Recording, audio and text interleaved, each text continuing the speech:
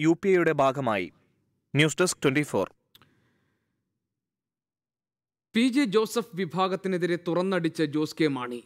സ്വാർത്ഥ താൽപ്പര്യങ്ങൾക്ക് വേണ്ടി ചിലർ പാർട്ടിയെ തകർക്കാൻ ശ്രമിക്കുന്നുവെന്ന് ജോസ് കെ മാണി ആരോപിച്ചു. എന്നാൽ ഭരണഘടന അറിയാത്തവരാണ് പാർട്ടിയെ തകർക്കുന്നതെന്ന് പി ജെ ജോസഫ് മറുപടി നൽകി. സംസ്ഥാന സമിതി വിളിക്കണമെന്ന ജോസ് കെ മാണിയുടെ ആവശ്യം പി ജെ ജോസഫ് തള്ളി. ഓഗസ്റ്റ് മൂന്ന് വരെ സംസ്ഥാന കമ്മിറ്റി വിളിക്കില്ലെന്ന് താൽക്കാലിക ചെയർമാൻ നിലപാട് അറിയിച്ചു.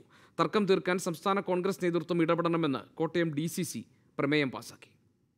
സംസ്ഥാന സമിതി വിളിക്കാതെ ചെയർമാൻ പദവി നിലനിർത്താൻ ശ്രമിക്കുന്ന പി ജെ ജോസഫ് പക്ഷത്തെ രൂക്ഷമായി വിമർശിച്ചാണ് ജോസ് കെ മാണി രംഗത്തെത്തിയത്. കെ എം മാണി കെട്ടിപ്പടുത്ത പാർട്ടിയെ തകർക്കാനുള്ള ചിലരുടെ നീക്കം അനുവദിച്ചു നൽകില്ല.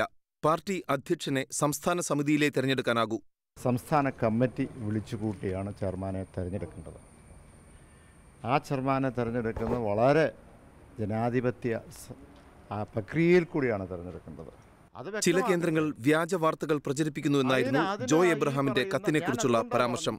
ചില മേഖലയിൽ ചില ക്വാർട്ടേഴ്സിന് കേരള കോൺഗ്രസിനെ തകർക്കുവാനുള്ള ശ്രമങ്ങൾ നടക്കുന്നുണ്ട്. അത് വില പോകില്ല. കേരള കോൺഗ്രസ് പാർട്ടിയെ സ്നേഹിക്കുന്ന അവരുടെ എല്ലാവരുടെ ഉത്തരവാദിത്വമാണ് കേരള കോൺഗ്രസ് സംരക്ഷിക്കുക അത് സംരക്ഷിക്കുക എന്നാൽ ജോസ് കെ മാണി പക്ഷമാണ് പാർട്ടിയെ തകർക്കാൻ ശ്രമിക്കുന്നതെന്ന് പി ജെ ജോസഫ് ഒളിയം പെയ്തു.